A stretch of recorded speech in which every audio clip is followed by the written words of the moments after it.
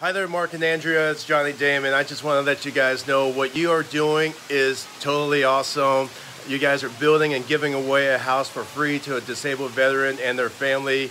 I did that for two disabled veterans and their families down here in Winter Garden, Florida, and I got the most satisfying feeling ever.